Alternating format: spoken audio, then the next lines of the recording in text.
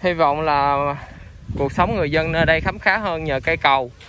Đổi được cái à, uh, vận mệnh nghèo khổ của mình. Sau đó đừng làm hại thiên nhiên và động vật. Chỉ mong vậy thôi. Chứ giàu lên rồi hủy hoại môi trường nữa. Mất đi những mỹ quan này uổng lắm.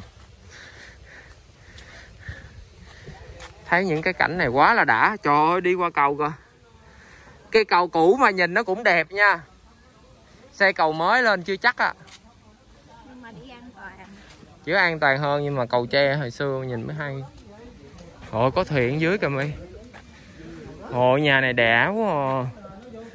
Ở đây chắc nuôi rết cá không nuôi chục con luôn á.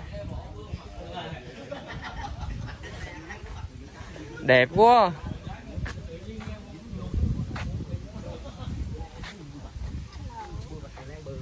sông á, vô 20 mét á, bức mẹ cái nhà lên Vĩ.